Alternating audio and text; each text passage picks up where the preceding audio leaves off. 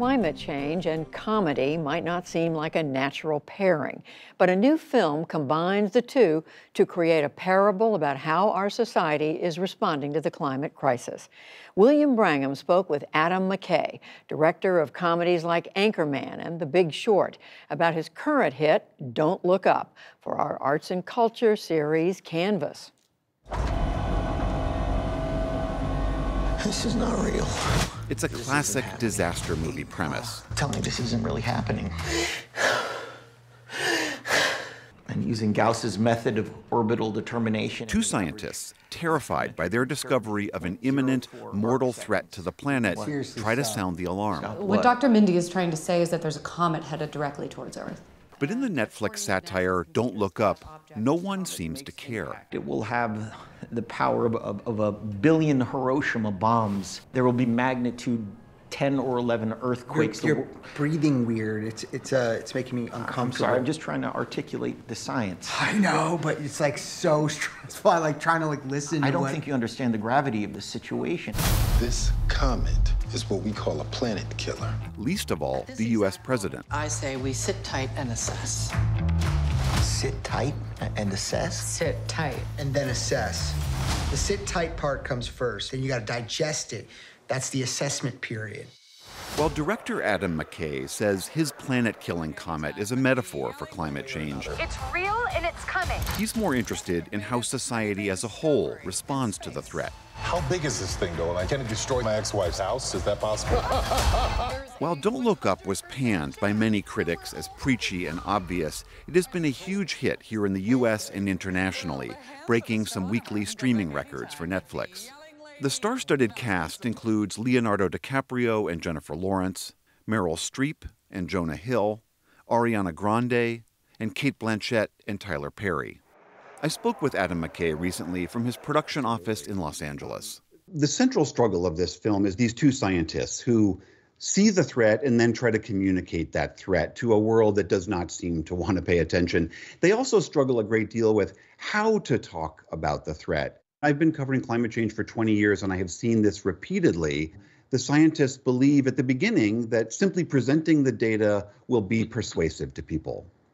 Yeah, I mean that's that's the central emotional thrust of the movie is what do you do when you have a clear truth in this society we live in right now. And a lot of people have applied the movie beyond even the climate crisis to COVID, to democracy teetering on the edge in the US and other countries. And I think that's all completely applicable because it becomes very difficult to just communicate a simple truth. And it does seem that that is, for lack of a better word, the central villain or the central struggle against this this media entertainment complex that they cannot find a way to punch through that thick curtain.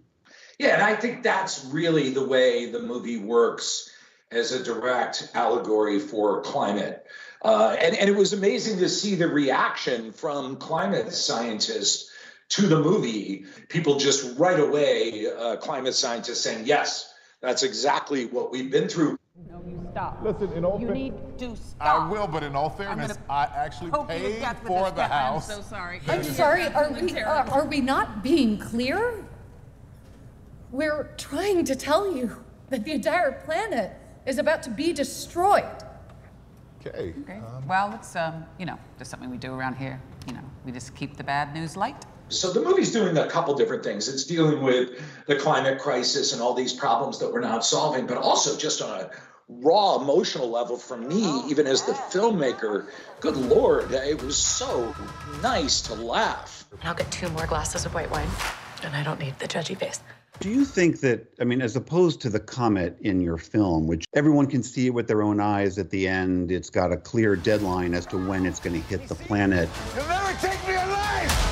Versus actual climate change, which is this slow moving, rolling, incremental thing. We are seeing damages from it already. But do you think that the, the difference between the comet and actual climate change is why we have been so slow to react? Yeah, I think so. I think to some degree, we're wired to deal with immediate threats. And I think the idea of a slow moving, massive macro change is hard for a lot of us to deal with, especially in a society we're living in now where there's so many bright colors and shiny objects and distractions, which get me as well. Um, so, yeah, I, I do think that's the problem. And I think that making it a comet helps compartmentalize it a little bit. And once again, the point of the movie is not really about the threat, it's about our reaction to it. Do you know how many the world is ending meetings we've had over the last two years? Your president in the film sees acting against the comet as a way to goose her political standing in the midterms, but there has been no political leader that has successfully ridden action on climate change to electoral success. Yeah, I, I, think we've really collided with this great challenge at probably the worst time that we could have because there's just so much big money that is flowing through our political system, through our social system, through our media. If you turn on most news, you'll see them ignore giant climate stories and then go to an ad for a gas powered car or an oil company and I don't think anyone's consciously ignoring it because of that. But but that kind of conflict of interest just creates a culture around it.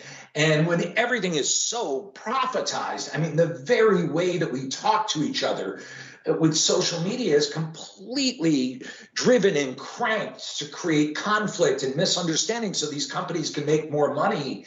Uh, it, it's tough. I mean, we are really looking at a nuanced, difficult, immediate threat to billions of lives at exactly the time where we've broken the way we communicate with each other. The film is Don't Look Up. It's on Netflix right now. Director Adam McKay, so good to have you on the News Hour. Thank you very much. Thank you, William. Pleasure to be here, man. We are covering climate change, and go see the movie if you haven't.